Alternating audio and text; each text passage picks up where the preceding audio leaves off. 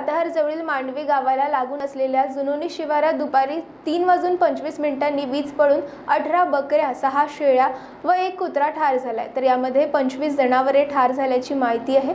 या शेळ्या उस्मान खान पठाण हनुमंत चुकाबाटलावार आणि मांडवी येथील शेतकऱ्याच्या असल्याचे समोर आले आहे. दुपारी आभाळ भरून आले व पावसाला सुरुवात होताच अचानक विजा कडाडल्या.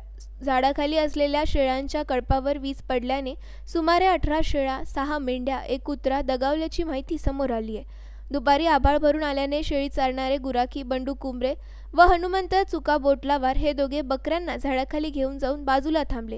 अचानक झाडावर वीज पडली यामध्ये पंचवीस जनावरे ठार झाल्याची माहिती आहे. बंडू कुंबरे यांच्याकडे चराईकरिता सत्तावन्न बकऱ्या असल्याची माहिती आहे. तर हनुमंतराव चुका बुतलावार यांच्याकडे पंधरा शेळी व पंचेचाळीस मेंढी एकूण साठ नग चराईकरिता होते.